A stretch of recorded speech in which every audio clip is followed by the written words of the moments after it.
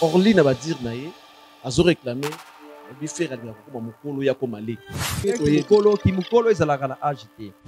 Na makambo maladi ya Guy ndenge aza kobela bakipaki Guy te asalaki boye te nani nde faki azwa responsabilité ya Guy. Bon na kotala boye moto afo azwa responsabilité ya, ya Guy ezalaki moto oyo azalaki na ye proche. Soki Ferre ayaki asunga ndeko ne ndeko ne aboyaki wana makala moto. eza kote na bango. Soki basalaka makambo mpo na kimokolo, mbele baponaki Joseph te azala chef ya famille. Silence ya Ferre mene ebimisi ye mokolo ye akomi mbala moko mwana moke abimi zoba. Silence ya Ferre mene ebimisi ye mokolo ye akomi mbala moko mwana moke abimi zoba. Ezalaki makambo fo basolola en famille. En plus na ba famille na biso ba africain na coutume na biso mutu oyo azalaka na sagesse na mutu azalaka na eloko oyo mbongo ye mutu akomaka mokolo ye mutu akomaka mokolo ye mutu akomaka mokolo liwa liwa eza nini liwa ezali mystère caché ya nzambe ya mpuvutulenge mystère caché ya nzambe oyo akela likolo mystère caché Mais comment na Congo soki mutu akufi eloko ya liboso ezalaka ya babomi ye mpo na nini?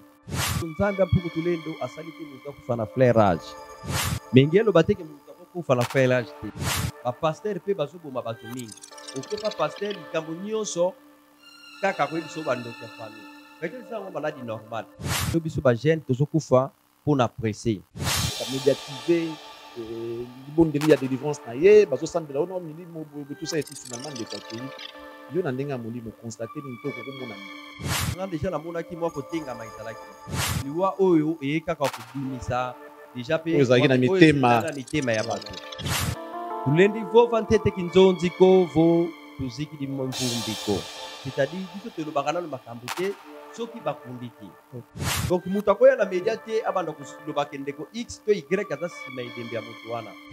Moto wana fale aloba ntango ki goal azalaki en vie. Aloba ke ndeko X to Y yo nde ki azomona. Mpo balobi omoni ndoki be hmm. belela. Mais na makambo nyonso yo koloba wana ke Guy ayebisaki yo, qui était témoin? Soki tomoni liwa ya ndeko na biso Guy, avant akufaka kosola na moto.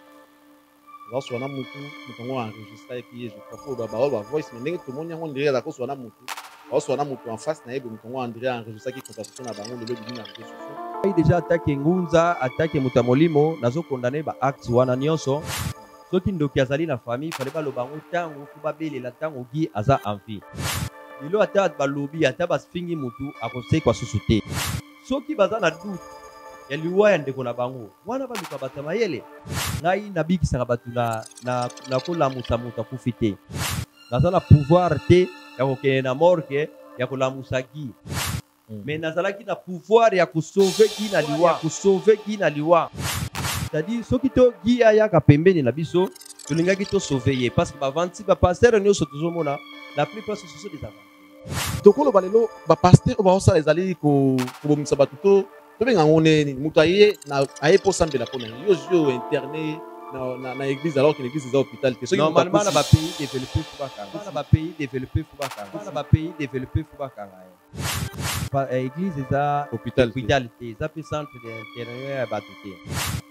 mais na soubassement ya eglise eza te place ya kobombaka soubassement ya eglise eza te place ya kobombaka bato ye alobi ke ye asi akota asalaki makambo ebele deja azalaki avance lelo oyo na niveau akomaki nango alekaki deja zobozi eloko wana ki yango aloba c'était la fantin c'était l'envie il avait l'envie na moment wana asalaki ya mission wana na nike niema akotaki te ntango ngai natali ya mission natali na miso ya molimo akomaki na envie lorsque tu regardes tout ça na ndenge ya molimo oko resume yango ndenge nini komba vie ya herve lelo oko resume yango ndenge fer ta bachauffe yango korepase elamba suka nango ekodebranche moto kosila papa fere mena akozala distrait te na ntango oyo mpo eza ntango moko ya molimo eza ntango oyo sikoyo ye fo azala na discernement soki eza ye te Eh, papa Charlie, kanga date ya lelo, émission oyo etika ekota na internet. Mikolo ezoya après 3 ans ou 2 ans. Eza successif te. Mpe na kozala après 3 ans oyo ezoya mpe na moto akozwa trone ya miziki congolais. Soki eza Ferre Gola, famille ekopanzana, famille ekobeba mpe eza shit ya famille. Mais il paraît, il paraît Guy akabwanaki na bato nyonso, tout ndeko na ye Hervé asalaki tout aboyi gi abandaki meme korefuse baaide oyo ezalaki kowuta pa gi pa herve atindi bato mosusu bakende kozwa gi balukela gi basolution gi alingaki akabwanaki na ndeko na ye parce que selon gi il se disait que ntango mosusu malade na ye eza maboko ya ndeko na ye il avait coupé tout contact entre ye bon na bafamille déjà Moto nyonso oyo abrilaka soki problème eye balobaka ye. Mpe moto oyo abrilaka na famille ye moto azalaka mingi combati. Soki bazo combattre Ferre ke Ferre aza innocent après makambo oyo akozala couronne. Soki eza ye toi tube toi tika. Mais soki eza ye te après makambo oyo akozala élevé. na domaine ya musique to na domaine moko songolo pakala okomona ba ouverture ebele parce que eza ba combat oyo eyaka avant élévation wazo kalobi na monoko na ye ke conférence eh, na conférence de presse na ye concert ya ferre ya le 24 eza te eza repoussé mpona le 30 juin lui qui n'est pas euh, membre effectif ya groupe wana point wana asali mabe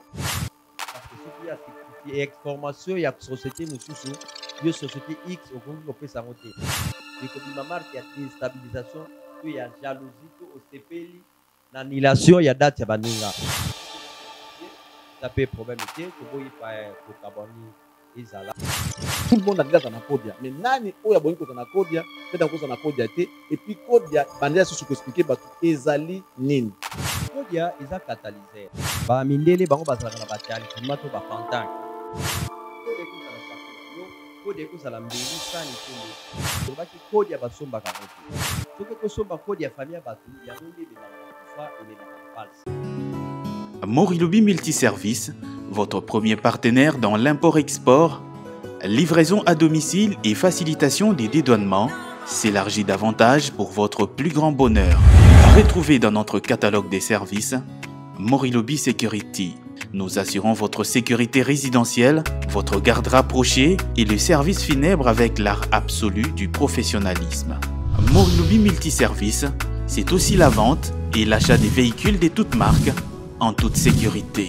Morilobi Multiservice, nous assurons également le nettoyage de vos maisons, vos bureaux, votre hôpital et tout autre appartement à travers notre service Morilobi Cleaner. Groupe Morilobi, avec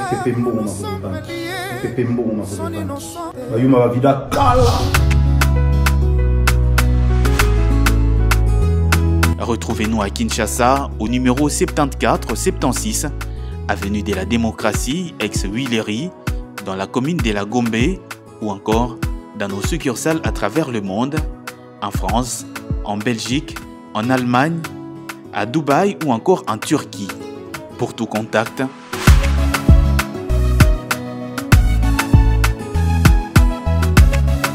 Morilobi Multiservice, des services diversifiés à la hauteur de vos attentes. Le chagrin que représente la perte d'un être cher, je ne le souhaiterai à personne, mesdames et messieurs. C'est à travers cette note que nous ouvrons cette émission d'aujourd'hui, sachant que l'actualité reste dominée par la disparition de cet artiste qui nous a fait plaisir à travers son travail. Il est en même temps le petit frère, notre petit frère, les petits frères de l'artiste musicien Ferregola, et aussi artiste évoluant au sein du groupe Ferregola.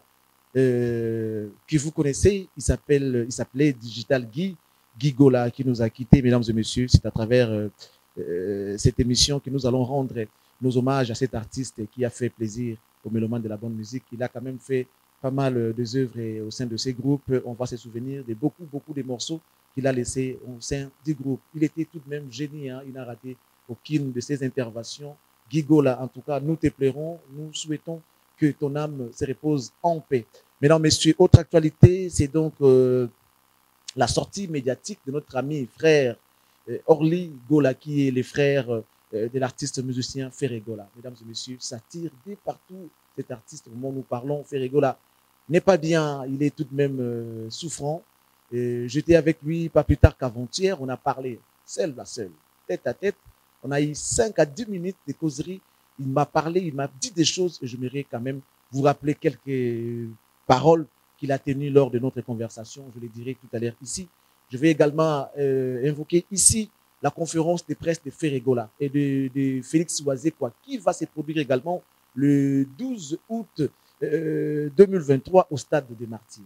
Dans sa bouche, il a dit clairement que les concerts prévus pour le 24 juin 2023 de Ferregola a été reporté pour le 30 juin. Lui qui n'est pas membre du groupe Ferregola.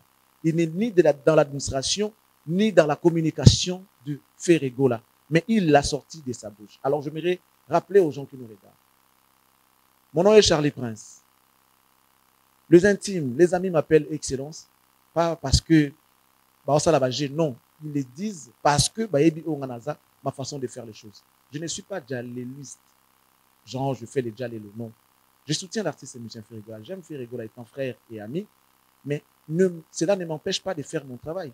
Je vous ai ramené une information sur les plateaux en vous disant Félix quoi, a sorti de sa bouche que le concert de Ferrigola du 24 a été reporté pour la date du 30 juin prochain nga mutu nalobi na bino na mutu oyo alobi na monoko na ye nga nasali mabe to na napesi information moi j'ai relayé les propos de wazekwa c'est pour vous dire attention il y a quelque chose qui se prépare soki ezali ya solo donc il a raison soki eza ya solo tisaki eza campagne ya déstabilisation ou encore contre campagne cherchez à comprendre rentrer na bisiko bakota po boyeba soki alobi yango pourquoi quelle a été sa motivation et pourquoi alobi ndenge wana au lieu de vous apprendre à charlie prince vos injures, de toute façon, ça ne me fait ni chaud ni froid. Moi, je fais mon travail. Je vous ai ramené l'info. Il faut être idiot pour ne pas comprendre cela.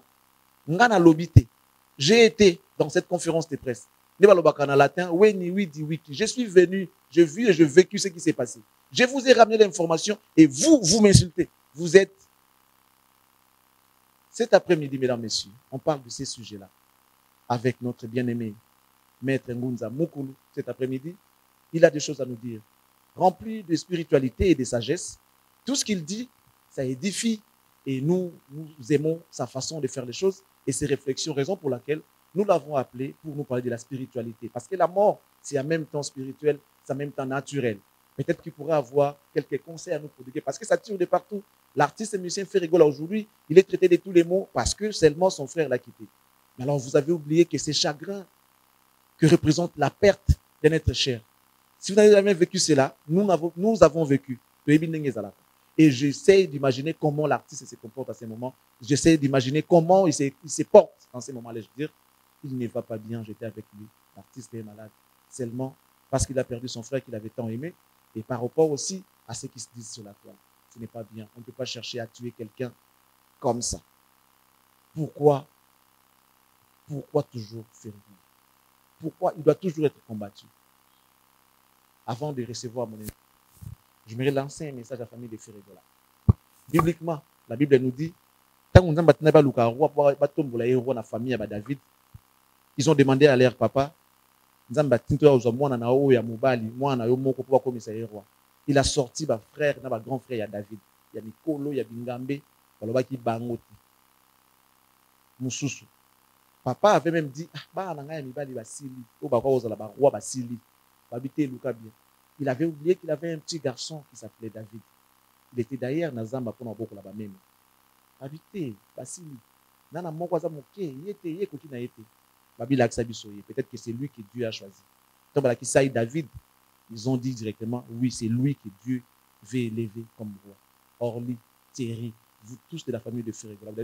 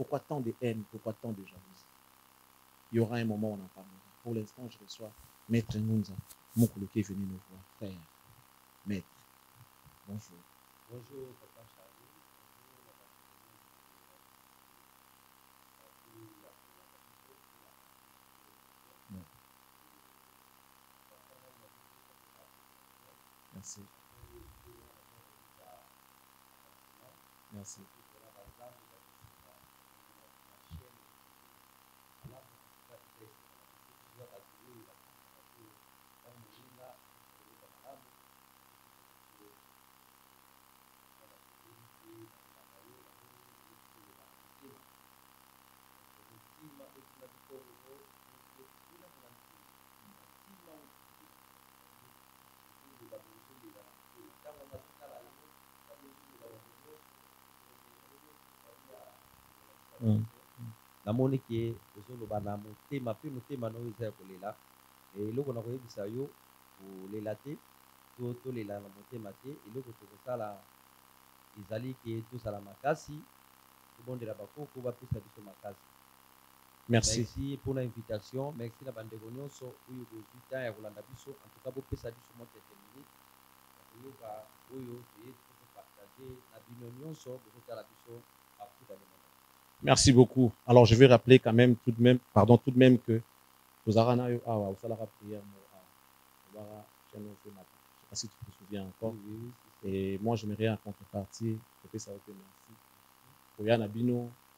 na bondeli na bino ba soutien na bino ezo sala que to kende place tozo kende yango lelo nanu to komi te mais on espère que toko koma nzambe azala na biso et puis merci na bino ba partenaire na biso alors on va commencer parce que na zui ba demande ebele ebele bato ba bengi nga mingi mpo na benga yo oyebi ke nazali ko déranger il faut venir bato bazo luka yo bato bazo luka bato bazo luka yo finalement na komi déranger na komi déranger les gens aiment tellement oyo ozo sala bandeko bao bika na nzela na yo bandeko bazwa ba solution na nzela na yo mais eza pe na ba reclamation mosusu les gens bazo mituna balobi bato baolinga bandima oyo oh, nao bandimi te oyo baza nao mosika bato wana mosika bazolinga bandima makambo ozosala me so bamoni ka elateli bazomona yango ndire bokoko na makambo oyo etambolaka ndenge wana te yo ozokende nango na ndenge ya kolata makasi boye sikoyo oza motu ya spiritualité oza motu ya bokoko oza na pouvoir ancestral na kati na yo sikoyo bakoko bamona nayebi te pesa bango nano réponse ngai te me bango kolata na yo oyo neti lelo esu na ba, ba, ba blouson ya ba cuir boye jour na oki na ba veste ya versas lelo ye na ba cuir sikoyo bokoko yango na boye nayebi te hein? merci papa charlie mm. d'abord naza jeune naza jeune oyo lokola yo mpe oza jeune mm. aza moto oyo eh, bakoko bapesi vilaire encourage lokola tolobaki na emission mosusu bakoko bayebisaki ngai ya kiese lwaka kuna mpe totwa lwaka po hmm. c'est-à-dire koma esika biso tokomaki te hmm. donc euh, epe tolobaki na émission précédent les habits ne fait pas les moines hmm. mais on peut on peut reconnaître un moine par son habit hmm. donc nalobaki mvwatu kiaki mpeve ngina ye yawo yo bilele kiaki mpeve ngina ye yawo mais kasi so mobengi ngai koye normal toyebisaki mpe bandeko bozotala biso Lulanda mvuatulu to ti mona mona television ko donc omoni mutu alati mayaka atie biloko c'est pour venir vous critiquer mambo make mpeve mona mvuatulu komeni na me mambo Hmm. c'est-à-dire mambo molimo ezalaka nango na elateli te mambo molimo ezalaka na mutu lokola lelo oyo nalati oyo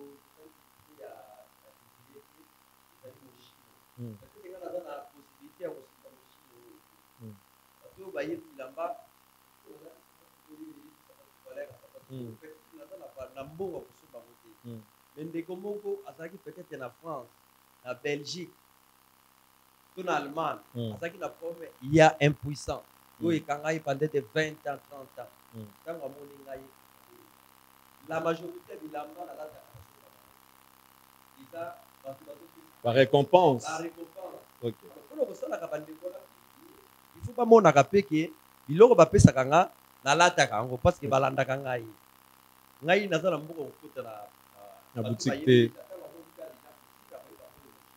akoyeba ke ngai naza na makoki wana te mais eza na ndeko moko peut-être nasungaki bazalaki na problème ya divorce divorce ne ezonga peut-être azalaki na problème ya mokanda to ya maladie moko songolo ngai nasungaki na nzela bokoko ye mpe okomona kobenga papa de akese eleka na ta tala mwa biloko napesi yo mm. obe nde tokendaka na mikili ya poto tozalaka na tiki dernièrement nauti na tiki mm. baboga tokutani na bango wana bapesi mwa kole donc C'est à dire makambo ya molimo papa Charlie ezalaka na elateli te.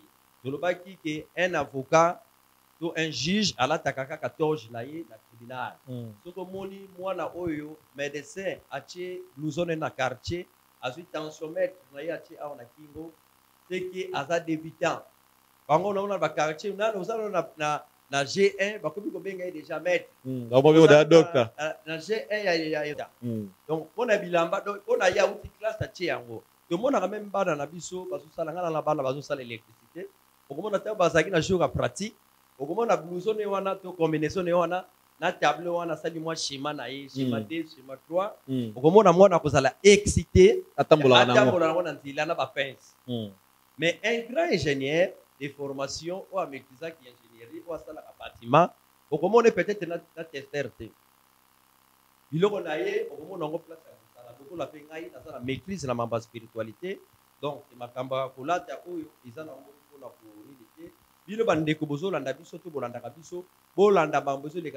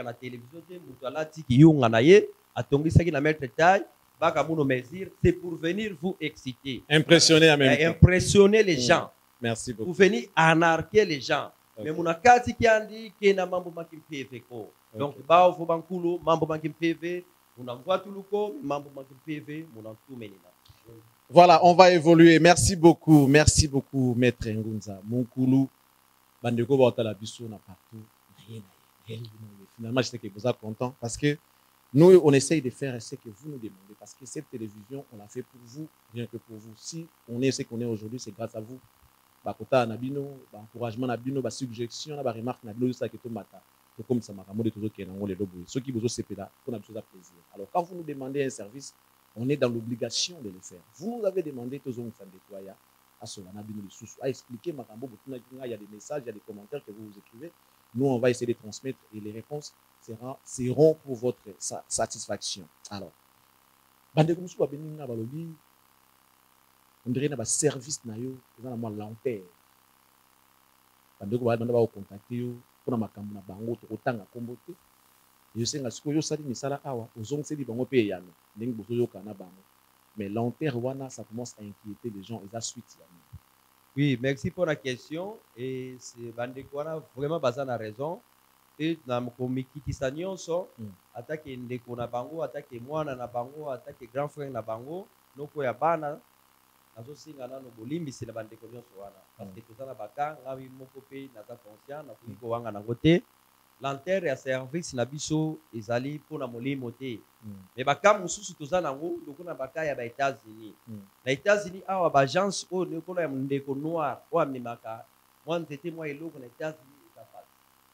bandeko baza na europe tozalaka na chance mpo lelo toza na lambert de paris na lambert de paris awa na kasavubu peut-être facilement okoki baproduit na tindi na dhl bino bandeko bozolanda biso na dhl balingi susu te tokotisa biloko wana surtout na italie ekotaka te na allemagne ekotaka te meme na états-unis dhl azoboya donc ekomi mpasi toza nango ngai naza na misala ebele mais kasi baagence oyo tokozwa biloko mpo totindela bandeko yango mpe ezosala biso mpasi alors na yo ndeko nyonso oyo ezotala ngai oyo oyebi ke fo biloko no eya mpo kisi to nzete fo eya ezokoma te en tout cas bolimbisa ngai muna nkumbu za bankulu zetu muna nkumbu za mfumu kimbangu geti lomba lemvo lulemvukila mpasi tomono mpe muntu ngenina donc naseki bino pardon ba kombo ya ba koko na biso mais tosali effort na biso dejà lelo oyo ndambo ya lot ya ba kisi dejà oyo ya bato Etats-Unis eyuti kokotela agence donc obima na nga awa na emission na opesa ba ndeko ba code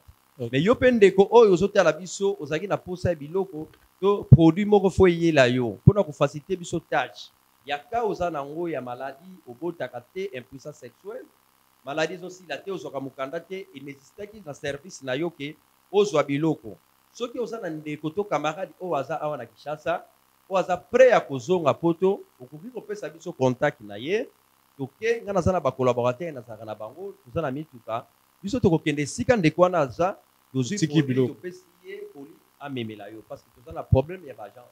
A part de ça, Mm. nawuti kozala na ba voyages lisusu ya libanda, donc nawuti Brazza, pe Brazza tobenganaki, nazongi Lubumbashi, nde na ye mais alors que biloko nyonso oyo esi esalami ekangami deja ekangami nango hmm. deja bino bandeko bozolanda biso mpo na baka na bino lukala muna wongako beto tweti kilendi vukila muna fuki kianganiko kilendi vukila muna fuki kianganiko bankulu bauvo wenda salisa makanda ezimbinga c'est-à-dire nakoki kovivre na sierra motu te ntango otindelaki nga 100 franc na yo mpo na kisi to 50 franc na yo to 50 euro to lide euro na yo mpo na service songolo sois a sur ke eloko ekokoma mais retard oyo ekomi eza propre volonté na biso te bandeko bazalaka awa pembeni na biso bazalaka servi à tout moment toza na problème ya baagence en plus baagence ekomi fo kofuta mbongo awa donc nasengi bino vraiment bolimbisi semaine oyo deja biloko ezokota bato ya états-unis au plus tard mardi ou mercredi bokozala servi na baproduit na bino bato ya europe deja tokonte na deux jours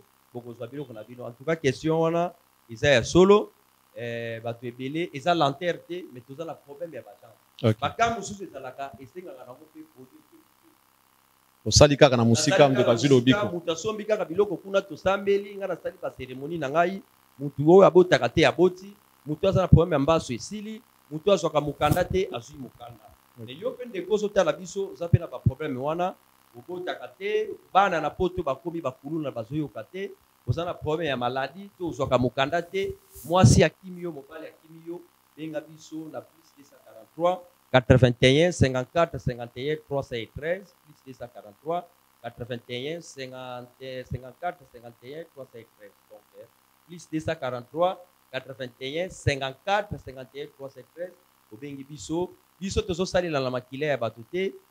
Tolobaka ko tango nionso, Beto toti sadila muna menga ko, me beto toti sadila muna ntiye mungwa ye maza.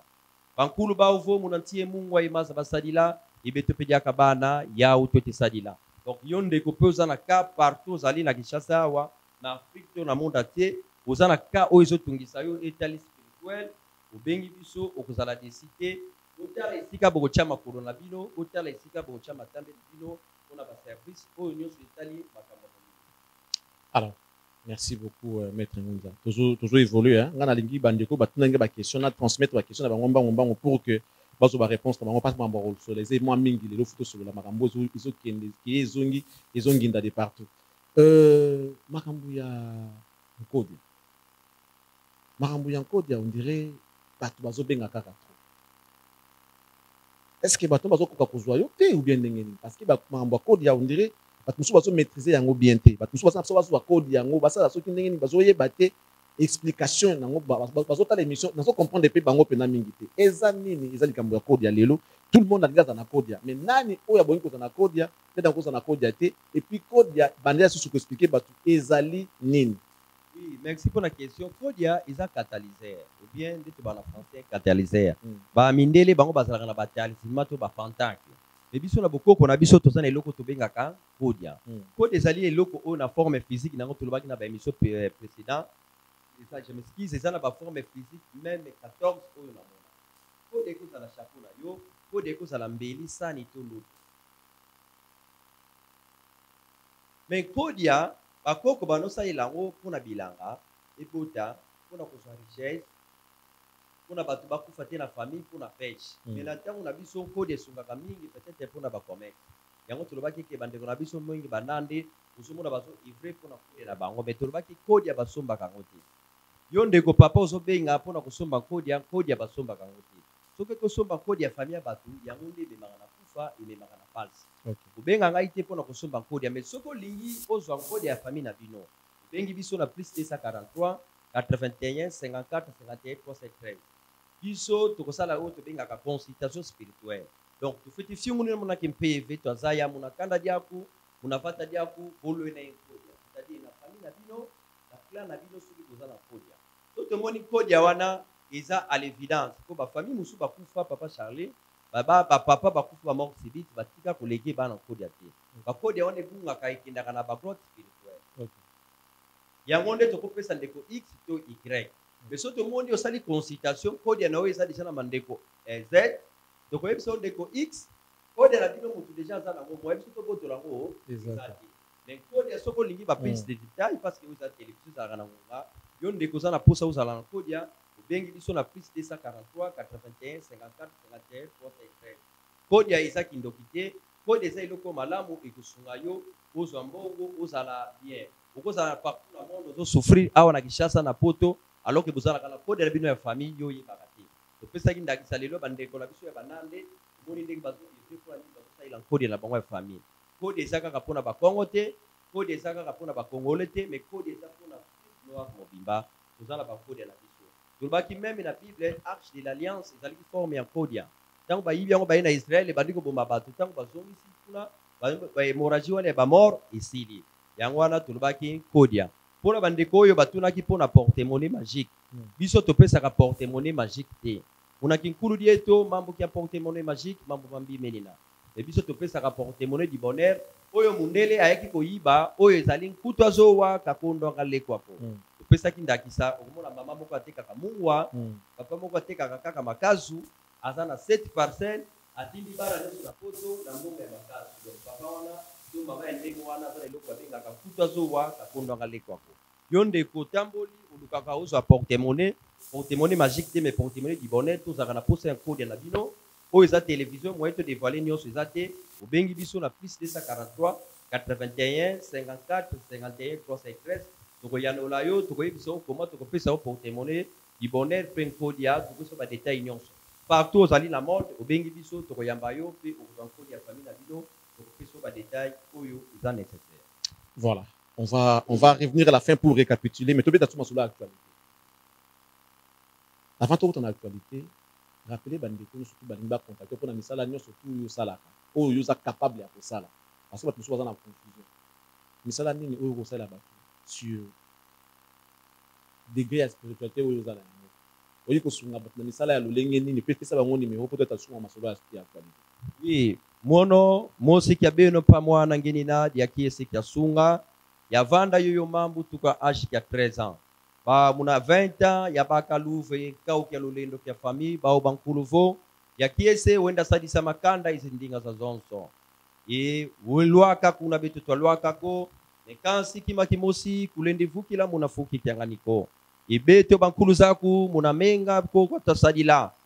Memo na nti ye mungwa ye maza to asalila inge pe mwana yao kaka afo ete salila donc eh, na bandaki makambo ko depuis 13 ans na 20 ans na zwaki arch to oyo tobengaka bato de commandement na salaka makambo nyonso oyo etali molimo libala ezo simba te mwasi ya kimi yo to mobali akimi yo na nzela mundele te me na nzela bokoko na biso zwaka mosala te oza na poto ozwaka mokanda te makambo no ezo marche te olukaka ba vote yo ba votaka yo te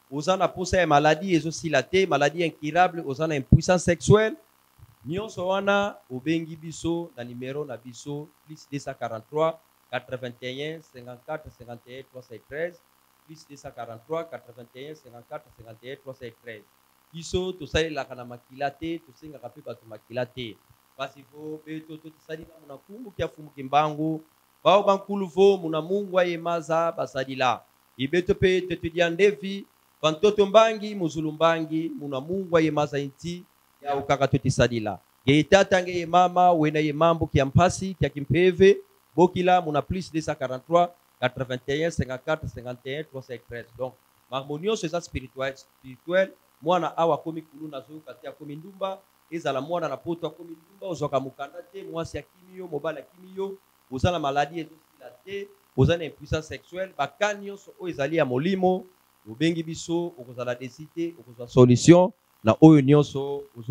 Merci, merci beaucoup. Alors, on va évoluer, mesdames et messieurs. On va entamer la deuxième partie euh, de cette émission. Il s'agit donc de l'actualité. Nous parlons ici de la disparition de l'artiste musicien, qui n'est pas moindre d'ailleurs, qui a fait partie des piliers de cet orchestre euh, Ferrego, la jet, jet Set jadis Aujourd'hui, groupe Ferregola, qui est Guy Digital, Guy Gola Digital. Deuxième point, ça sera Orligola, son apparition médiatique. Troisième point, ça sera la conférence de presse de Wazekwa, lorsqu'il a parlé de Ferregola pour son événement. Alors, maître Nunda Moko, Oraki Sangwaliwa. Oui, Naokaki Sangwaliwa, esalaki nga pasi kobungisa moko ya ndeko na biso eh, gikola esalaki pasi epesi kolela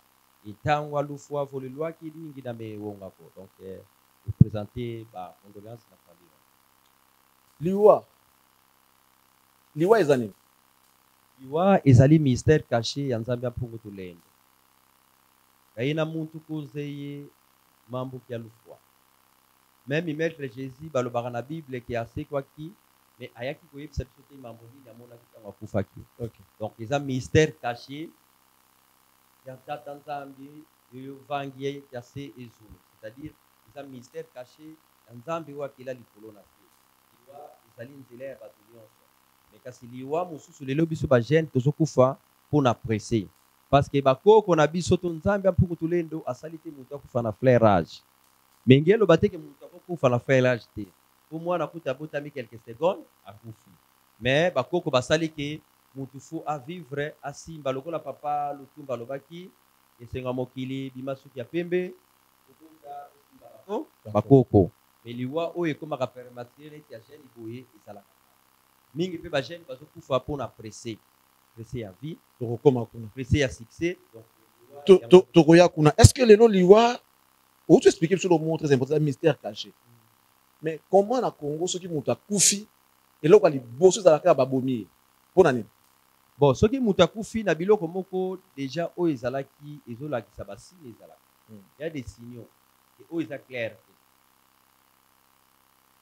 biso awa toyebi autopsi te hmm. ke basala moto autopsi batala vraiment maladi nini azalaki na yango mpe mabe mingi mpe ezali na bapaster na biso yo mutu paster ngai nazalaka avant baka mosusu nasalisaka nakotinda moto asalisa nano examen ya mondele Natala to ya cycle na yo mpo nayeba nzete oyo nakopesa yo na nzete oyo soki ekobalana. Je m'excuse. Ngai nalalisaka bato na zikwa te. Soki oye na ka ya maladi nakobondela mpo na yo. Soki namoni maladi oyo kinini ekobekisa nango yo, nakoyebisa okende hopital somba kinini. Soki namoni ke ka oyo eza nango ka ya myome, bo myome mpe tosalaka na nzete, tosalaka mpe na operation. na kotala selon molimo ndenge ekotindela ngai me mingi bapastere na biso balingi kosala makambo mpo bamona bango bango nde bakomi ntango yo ozosala ndeko delivrance bandeko nyonso tolobeli awa babengaka nga to tozosunga na misala tozoyebisa bango bandeko x totangi bakombo na bango te hmm. ntango yo ozosunga motu ye moko fo akende sala témoignage mais yo ozwi motu omediatise déjà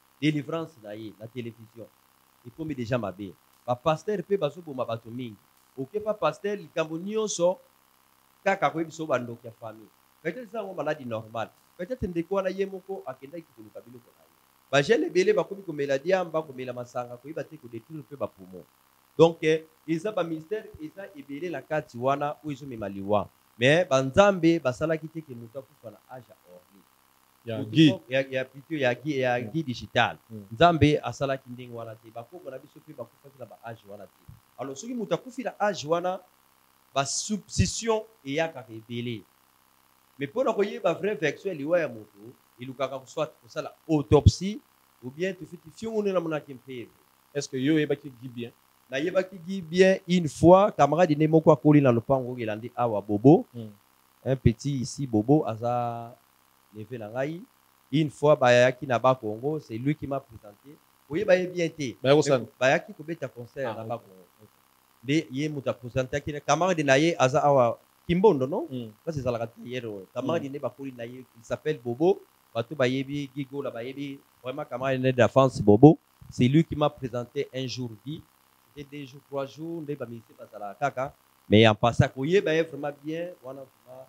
Bon, yo étant maître spirituel, liwa oyo, makambo ebimi ebele mpo na leki na biso, en tout cas, paix à son âme. Tokoki beta masolo te tant que mokuna akoti na se ya mabele te.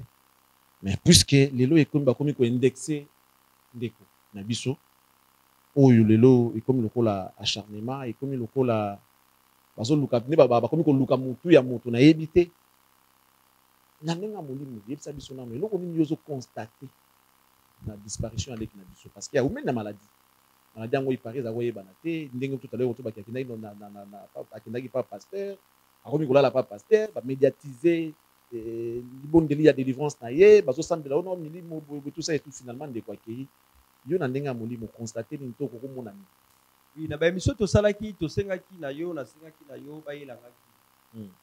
parce que ka akomaki nango ekomaki ka moko fo monaki mpeve kaka tosalela monaki nkulu se tosa kaka parce que nanga deja namonaki mwa kotengama ezalaki ndenge azalaki wana deja alukaki motu moko akota mona ntia nkako elukaki kotumba bankasa bakinyumba mpe azwa bapirge Et oyo esalemaki te biso toza ba medecin toza minganga tokoluka maladi te me moto ayaki me nabetaki mbela me deja liwa ya ki eza liwa moko oyo ezokende deja na kopanza famille to foyer otoloba famille mm. mais famille deja ezalaki na baproblème nango restreint oyo yo na ngai toyebi te mm.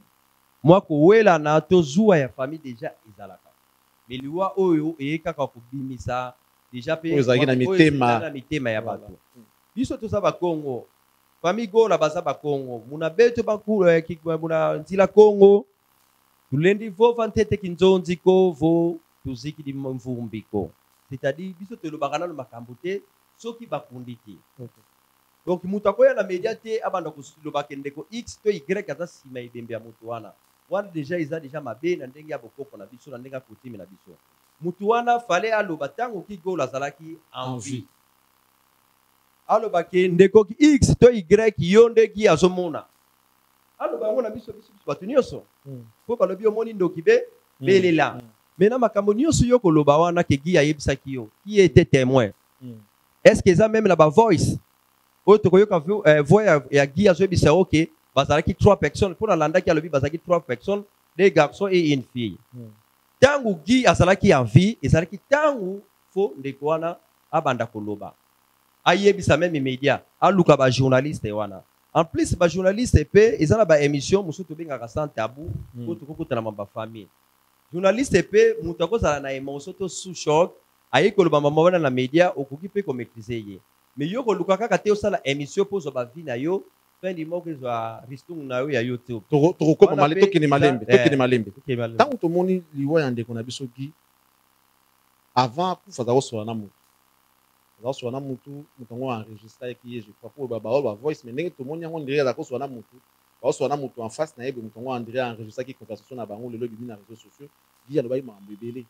makambo ebele oyo gi alobaki je ne sais pas soki ozwi ntango oyoka yango nazwi na ntango ya koyoka yango me ngai deja atake ngunza atake moto ya molimo nazokondane baacte wana nyonso pona nini mutu na bakundi ye te soki ndoki azali na famille fale baloba yango tangu faut babelela tangu Guy aza en vie lelo ata balobi ata ba fingi mutu akosekwa susu te eloko bakosala mena bakuna ndeko Guy bafanda en famille soki baza na doute ya liwa ya ndeko na bango wana baluka batu ya mayele nga kaka te naza mutu ya mayele to namonaka tokobenga batu ya mayele na kati ya libota tokofanda toyeba ndeko na biso nzela oyo ake ya solo to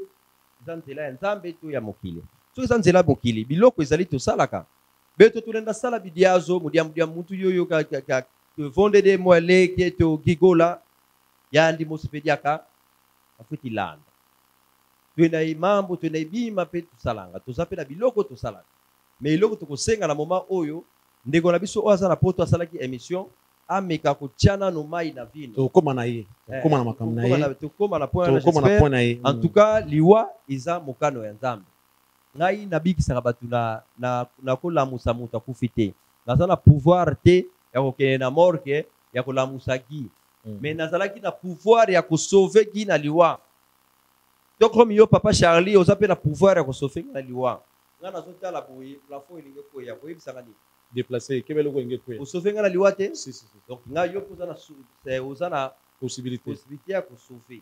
Okay. Tolobaki jour mosusu tomoni Hervé atiaki awa S. Balobelaki oyo oh, fallait pas tia S pala hmm. nini? Mm. Abi S elingaka kolakisa sauver pour servir. lokola bandeko na biso basali piste ya baarme lisali balataka ds sauve ou servir lokola biso mpe tosovaka toza sauve na bakoko mais tozo servir bato na misala donc c'est-à-dire soki to gi ayaka pembeni na biso tolingaki to sauve ye parce que bavanti bapastere nyonso tozomona la plupart ce sont des aventuriers mm. bapastere wana nyonso bozomona wana la plupart ya, ya malamu baza moke nyonso wana baza baventurier Est-ce que lelo tokoki koloba tokoloba lelo ba pasteur oyo baosala ezali kobomisa bato to tobenga yango nde nini moto aye aye mpo osambela mpo na ye yo ozwi oyo interne ye na église alors que l'église eza hôpital te normalement na bapays développé fo bakanga ye bakanga pasteur wana parce que hôpital eh, eh, église eza hôpital te eza mpe centre d'internet ya bato te hmm. ba medecin traditionnel ngai naza medecin traditionnel te ngai nazali ngunza muna mm. muna kimpeve ngeti esalila mm. ba medecin traditionnel bainternaka bato baka neti ya maboma mm. parce que baza na document ya ministère ya terrain na ministère ya santé na ministère ya culture et ah. art baza na soubassement mais église ezalaka baza na badocument ya ba ong nobiti ye littérative oyo kabila apesi bango na 2000 je si je me trompe pas ba 2010 bazwa soubassement mais na soubassement ya eglise eza te place ya kobombaka bato omona bagene mosusu basala te bakomisa bango baleaka fufu na permanence eza mpe mm. mabe fo bakende luka misala kotika bato na kati ya eglise ndenge batikaki ki eza malamu te lelin kote eza faute ya eglise lelin kote mpe famille mpe aza na charge Mais il paraît, il paraît Guy akabwanaki na bato nyonso tout ndeko na ye Hervé asalaki tout aboyi Guy abandaki meme ko refuser ba aide oyo ezalaki kowuta pa Guy pa pa pa Herve atindi bato meme bakende kozwa Guy balukela Guy ba solution Guy alingaki akabwanaki na ndeko na ye parce que selon Guy il se disait que tant mosusu malade na ye eza maboko ya ndeko na ye il avait coupe tout contact entre ye bon na ba famille dejà moto nyonso oyo abrilaka soki problème eye balobaka ye mpe moto oyo abrilaka na famille ye moto azalaka mingi combati yango omoni na bible bino ba chretien botangaka bokomona ke joseph azalaki na etoile azomona bandoto ba, ba ye moto babwakaki na libulu me ayaki kokoma roi soki bazokombatre fere ke fere aza innocent après makambo oyo akozala couronne mm. akozala eleve ya makasi parce que auti prison okomona bato nyonso barenia na mokili oyo ya suka kutu nakendela kutu na bible te ya suka kaka brino chimala mm. auti prison mbala moko premier ministre donc Herve pe awuti na prison akufeli bato bakomi ko accuser ye ndoki soki eza ye to atubela to atika mais soki eza ye te après makambo oyo akozala eleve na domaine ya musique to na domaine moko songolo pakala akomona ba ouverture ebele parce que eza ba combat oyo eyaka avant elevation eza lokola bazokata matiti banzube avant kolona po tozwa mbo mbuma malamu mais biso toza na lokola ngai nakoya awa na television te parce que tokutana poto na kosolola na yo mama mosusu mais tellement famille epesi nga manda te ya koloba hmm. liwa wana moyen naloba eza te donc oyebi quelque chose oui nayebi naza moto ya molimo nasali déjà consultation nakoyeba makambo eza actualité mais lorsqu'on regarde ce qui se passe autour de hervé ferregola Auti prison aye a annoncer concert na ye ya Palais du Peuple, oyebi makambo eleka na concert wana combati combati finalement oyo bako congorlela Verckys le meme jour balela pe Verckys yango te concert pe ebeta na te. Lelo a annoncer stade de martyrs le 24 juin prochain ekomi aah fadam bazui yango eh, Federation africaine des arts martiaux bako sala festival na bango wana pendant 4 jours du 17 au 20 soki pendant 5 jours c'est pas combien de jours wana du 17 soki 17 au 24 juin combat na combat lelo tokoki komona na conférence de presse ya wazekwa hier j'étais là moi-même wazekwa alobi na monoko na ye ke conférence eh, na conférence de presse na ye concert ya ferre ya le 24 eza te eza repoussé mpona le 30 juin lui qui n'est pas euh, membre effectif ya groupe wana lorsque tu regardes tout ça na ndenge ya molimo oko résume yango ndenge nini combat vie ya herve lelo oko résume yango ndenge nini vie ya ferre lelo na ko résume yango na bitumba me bao bankuluvo ludia lunua luvangama luzolele diambo entangwani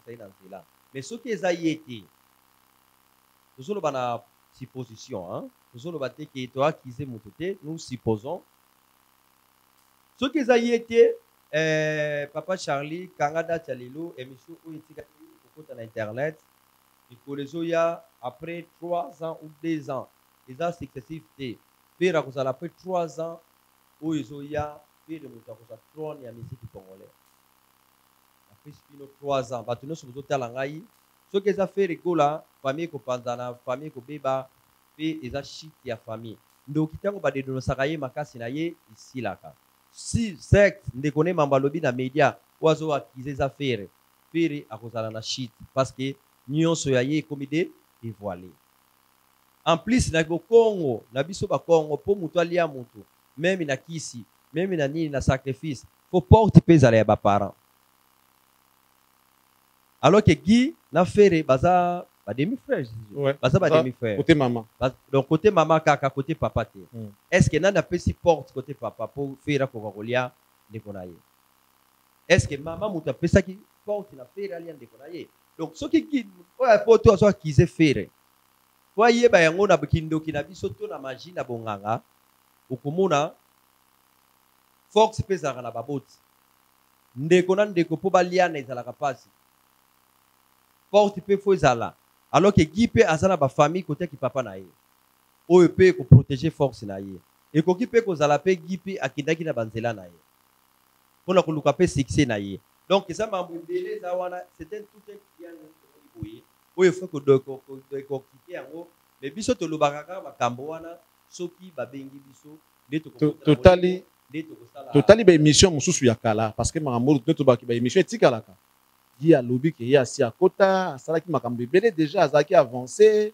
lelo oyo na niveau akomaki nango alekaki deja zobozi ye azalaki deja moto asala makambo ebele deja est ce que yango mpe ekoki kozala cause oyo ekoki eloko wana ki yango aloba c'était la fantin c'était la fantin c'était l'envie il avait l'envie na moment wana asalaki ya mission wana na nike niema akotaki te bilobela kaka eh, ntango ngai natali émission natali na miso ya molimo akomaki na envie peut-être soki akotaki c'était après cette émission okay. yango moni vie na ye ekomaki mingi bazi masanga na basi mwasi akoti déjà eh, wana sikoyo akomaki ka moto ya basi ye ayebi te ke mwasi mpe akopesa sida okay. to mwasi mosusu mpe akozala ndoki apesi porte mpe ye akufi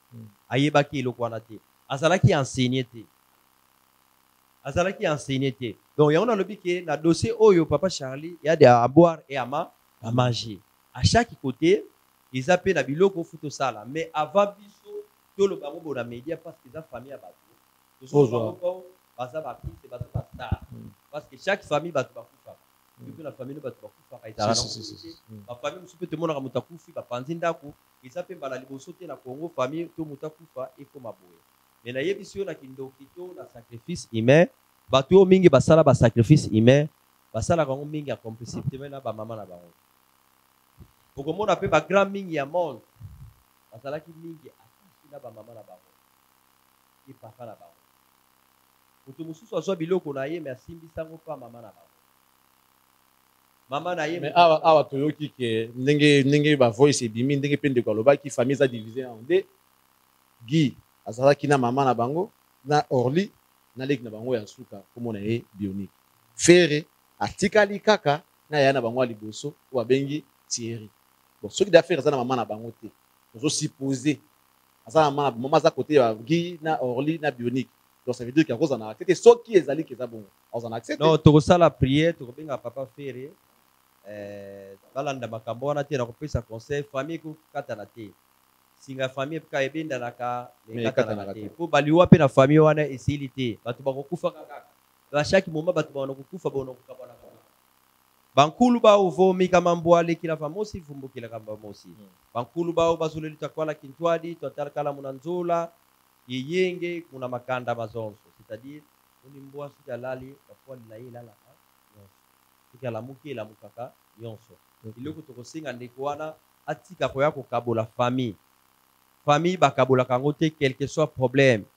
Le linge sale ça se lave en famille. Tobeta sikoyo lisolo yango. Lisolo ezali ke ye ndeko tokobenga ye. Est ce que c'etait important na moment oyo ndeko Orly abima na television mpo na ba makambo auti koloba wana ezalaki important te esiki tuna na bakundi moto te na biso bakongo bafuti zika te te mvumbi ebosi situ asalaki nzondi c'est-à-dire fo bakunda nano ndeko mowei bongo tosala kinzondi bongo tosolola en plus bango mpe eza important il fallait baya soki ye atakolaki bayebisaki ye ndeko x asali mpo aya afanda na famille alors mambaki ndoki mena eza makambo moko biso bato ya molimo toyebaka yango parce que ezalaka na preuve tangible e tomoni place te babeteli ye nzete na fere ke abomi ye to atie ye mbeli nde tomonaka infraction babengaka maigre me na kindoki ezalaka te na kindoki nini tosengaka bato ntango bato bazokufa na nzela to na famille nomoni balwa ezali nimero na ngai yango topesaka ntango nyonso plus 243 81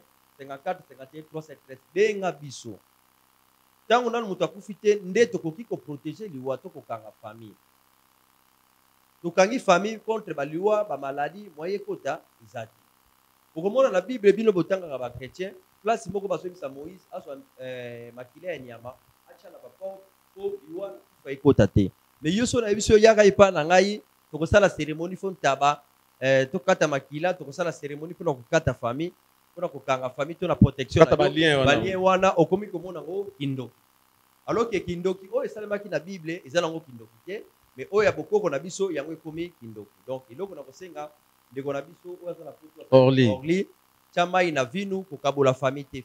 Orly na ba dire na ye azo reclamer alobi Ferre alingaka kokoma mokolo ya koma leki na ba dire ya Orly totali azoloba Gims asungaka asunga Dadju alors nalingi to expliquer biso toyeba Orly aza mokolo Ferre aza leki oyo alandi Orly na sima na makambo malade ya Guy ndenge aza kobela bakipaki Guy te basalaki boye te nani nde faki azwa responsabilite ya Guy bon nakotala boye moto afo azwa responsabilite ya, ya Guy ezalaki moto oyo azalaki na ye proche alors que yo olobi deja aboyaki aide ya Ferre mm. soki Ferre ayaki asunga ndeko ne ndeko ne aboyaki wana makala moto eza kote na bango mais na ndenge ya kimukolo yaya nde azwaka responsabilite ndenge toyebimukolo kimukolo ezalaka na age te hmm. mambo kia famille kimukolo ezalaka te soki basalaka mambo mpona kimukolo mbele baponaki joseph te azala chef ya famille to ye motu papa hmm. alors que joseph azalaki mwana nsu mwana nsuka david azalaki mwana ya nsuka azalaki mpe na mikolo ezao mpe atikaki wana biloko azosala wana akomi lokola ezau ah, azomela supu azwi supu afere ale ah, ale azomela supu azopesa sikoyo fere ki mokolo hmm. silence ya fere mene ebimisi ye mokolo ye akomi mbala moko mwana moke abimi zoba po ezalaki makambo fo basolola en famille en plus na bafamille na biso baafricain na coutume na biso mutu oyo azalaka na sagesse na mutu azalaka na eloko oyo mbongo ye mutu akomaka mokolo yango monaka makambo ekokwea na famille bakoluka bato nyonso baza wana me bozela nanu noko kingandi hmm. po aza na mwa eloko noko ya mbinza aya alobaka na solution alobaka na solution parce que na minute oyo ye kuna mm. na poto akosala programme ya matanga mm. bato bakolanda na bango yango te bakolanda oyo fere akoloba parce que fere aza na kombo ah, c'est lui qui a fait la famille mm. ya ye mutu azali famille gola lelo c'est fere la référence la fere eh, fere mutu asali famille Donc, bato nyonso balanda Ferre. Ferre moto akopesa programme. Est-ce qu'on peut dire que Orly c'est c'est de la haine, c'est de la jalousie parce que apparition na ye souvent ezalaka kaka au bon, ezalaka pona ko salir Ferre. Ferre a peut-être ma prison asalaka pe mission moko aleka makambo ya Ferre alobi ba n'importe quoi genre akopanza orchestre ya Ferre. Et puis lelo so abimi susu pona koluka ko Oyo tokoki oloba nanu te jalousie ou comment. Hmm. Eh, samba tuna samba mamonso maza esalami na sala mamonso menanza. Donc toko juger te jalousie L'emotion aussi to choc pe ekolobisa mutu bilobela. Mais biso sikoyo toko analyser ba ba terminaison na ye hmm. place toko yebela jaloux to nini mais nako ya te nga naza responsable. Lokola aza na mbongo alinga akoma lokola aza na mbongo alinga akoma yaya nga nakoma leki. Est-ce que ba parole wana? Ba parole wana sikoyo ekomi haine. Ouais. Wana ameli sikoyo jalousie. Hmm. Ngai pe peut-être na famille balobela nga yango. yo mpe bakolobela yo yango me yebaka yango na famille nyonso ye ayebaka yango motu oyo azalaka na mbongo famille Nzambe ya Mfumu Tulendo et Tata Simon Kimbangu balendi vanda Nkailu kuna bya bino ba bonsoko. Bapesaka likabo na mutu moko. Mutu wana siko ye wana akomaka likonzi ya famille. Likonzi ya famille eza kaka te ya age te. Parce que soki solution eza na soki problème eza na famille wana ezoluka 10000 dollars ou 20000 dollars mutu ya liboso bakotala ezala Ferre. Ekozala ye te. Donc alongola maloba wana, atala maloba wana te. jalousie ezala te bazonga na famille a se ressaisir alobi alongwe na famille donc ye alongwe na famille alongaka na famille te parce que makila famille kolanda ye mutu alongaka na famille te mutu okokima famille mais makila ya famille wana ekolanda yo parce que oza na sang wana oza na ADN wana donc balongola makambo wana ke mutu alie tant que nanu ba consulter eh, mutu te en plus eloko ezopesa bato baloba biloko wana parce que apparemment Maladie oyo vraiment moto akufeli ndenge ezalaka ezo yebana te. Ezo yebana te. Ekomaki maladie ya molimo. Alors que ngai nalekaki awa nayebisaki yo yo yebani na bango bayela ngai ye na temple esika wapi biso mpe tosala part na biso. Bible oyo bosambelaka balobaka soki ya yo esimbi te meka mpe nano ya biso. Mm. Monaki nkulu zi eto tozala ba témoignage ebele ya ba oyo. Ngai nalobaki ke ngai moko namelaka kinini ngai moko mpe nakendaka hôpital. Mais ba cas oyo ezali spirituel boyela ngai yango.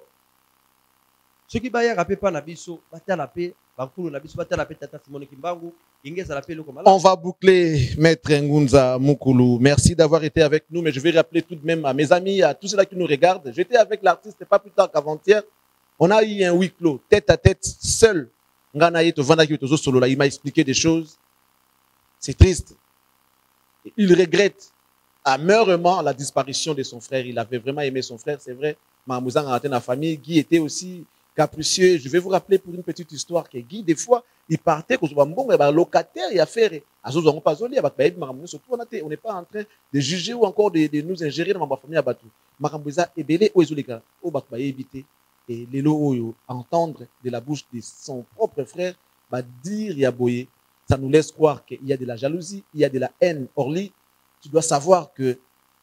na vie likabo bapesaka yango ntango mosusu na motu moko akobaka lokola moïse ya kosauve famille ton frère aza na bitumba deja ebele ebele na mboka oyo lelo oyo oyo kopesa couloir na bandeko bato mosusu mpo baluka badétruire frère na yo ce n'est pas bien ce n'est pas bien ce n'est pas bien vous allez suivre dans cette émission les images ba huis clos nakoki kotia yango na tv te mais vous allez suivre en illustration les moments de partage entre mfere et moi c'était donc na kabinda center place nini azwi salle mpo na kolela leki na ye ye moko azwi salle et selon ce que il m'avait dit m'avait soufflé à l'oreille sauf imprévu veillé mortuaire ekosalama bongo lundi ekosalama na musée national l'enterrement est donc prévu pour le mardi prochain nde bakokende kokunda gigola Au moment où nous vous parlons, l'artiste est vraiment malade.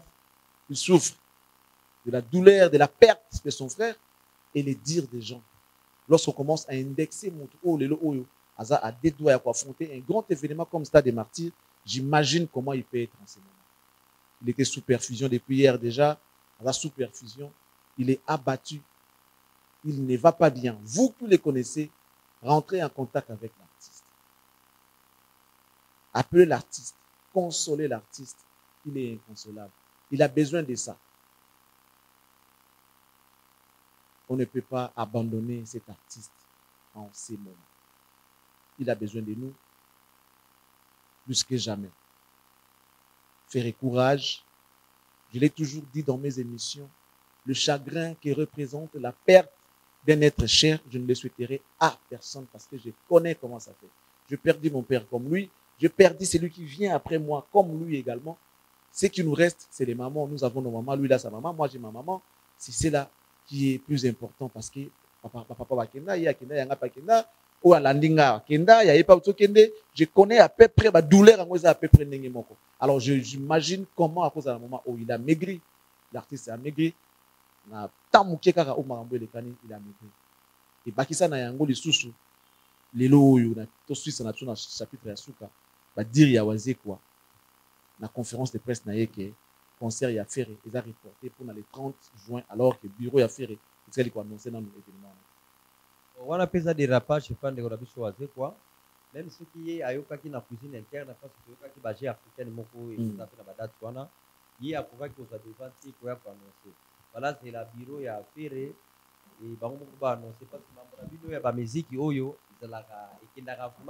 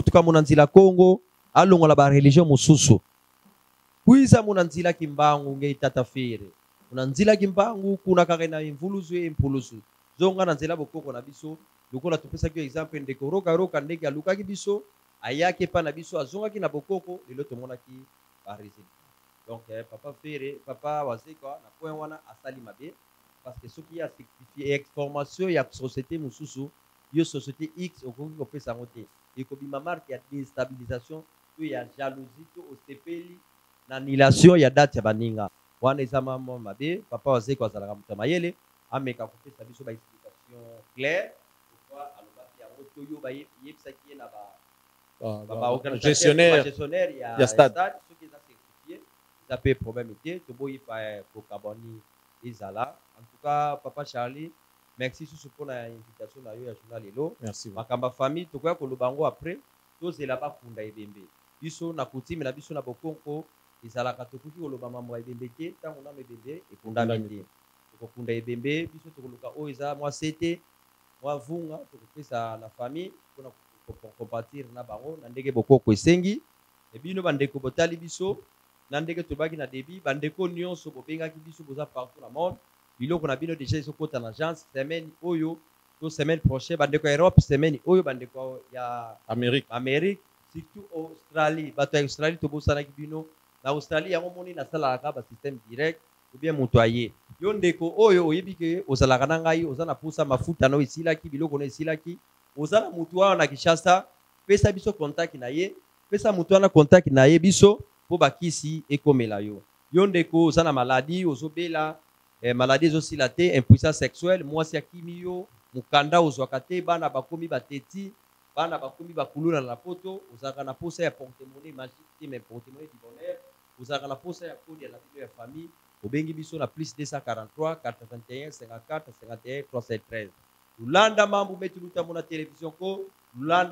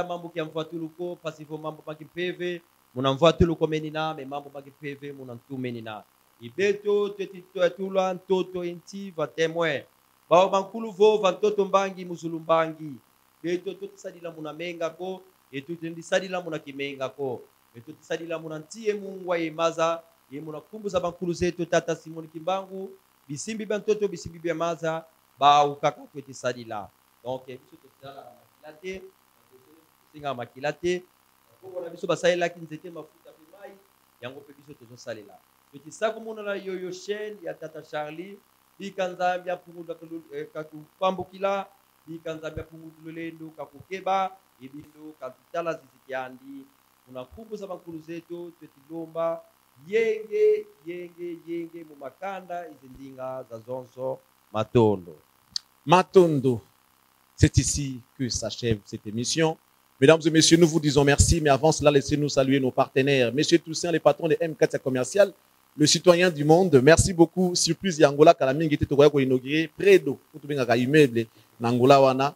Merci beaucoup, Naye. Merci à Pepe Mbongo, à Bogobank, nos sponsors. Merci également à toi, MM, la classe et la beauté. Merci beaucoup pour tout. Un grand merci notamment à Jules Somao, les sauveurs, nous n'oublions pas, mesdames et messieurs, Madame Noëlla Yanga qui nous soutient, qui a toujours été là pour nous, mesdames et messieurs. Nous vous disons à vous merci de nous avoir suivis. Restez bien sur votre chaîne qui est Cactus Télévision, la télé de l'excellence. Nous allons nous fixer rendez-vous très prochainement dans nos prochaines émissions. Et laisse que Dieu vous bénisse et qu'il bénisse la RDC. Au revoir. Bonne suite des programmes sur nos antennes.